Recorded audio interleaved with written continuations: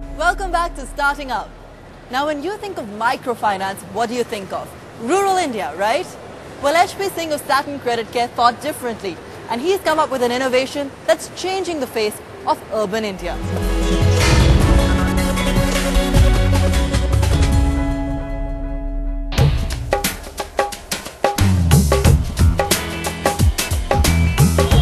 Fifteen kilos of jalebi, 20 kilos of barfi and another 30 kilos of laddu. Yep, that's the daily sugar fix from Prakash Sweets, your regular small-scale roadside sweet mart. However, this demand multiplies about five times during the wedding season and festivals. It's precisely at times like these that small businesses such as this one face an urgent need for accessible and hassle-free credit. Daily तकरीबन आप समझिए कि तीन से चार हजार के बीच में आपके हाथ में कैश हैंड होना चाहिए तभी आप रूटीन को आगे चला दिवाली वगैरह के टाइम पे तो फिर पैसा बाज़ार से उठाना होता है थोड़ा बहुत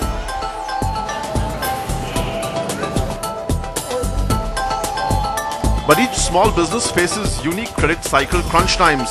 With 6 million MSMEs, that's micro, small and medium enterprises across the country, credit providing institutions are in demand. In the last 18 years, over 6,000 government and private microfinance initiatives have sprung up in rural India, prompting the term microfinance revolution. Strangely though, it's urban India that has lagged behind. Satin Credit Care, set up in 1991, is an organization that aims to cater to the urban credit needs.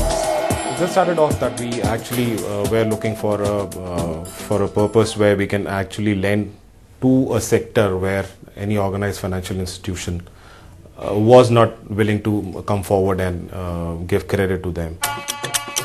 Satin's clients therefore range from bindi manufacturers and roadside vendors to beauty parlor owners like Deepika, who started off in the basement of her parents' house with just the odd customer.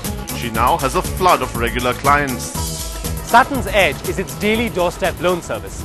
The way it works is the loan is home delivered in the morning and the Satin agents pop around in the evening to pick up the dues. Operational costs push the cost of this loan up to 33%, higher than the 26% on the monthly loan. But Satin clients still seem to feel this is a pretty sweet deal. It's more convenient to give them daily thing. So it's more easier.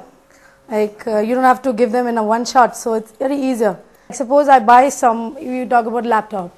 If I'll uh, take from them, they're going to take a daily, you can say maybe 300 rupees daily. It's nothing. You won't feel, it doesn't pinch you. The downside of Satin's meticulous four-day verification process is that newer startups find it difficult to get loans.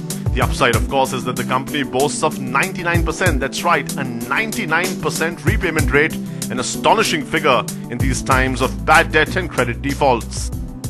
Find out more about Satin Credit Care, simply log on to their website. That's www.satincreditcare.com and you'll get all the information you need.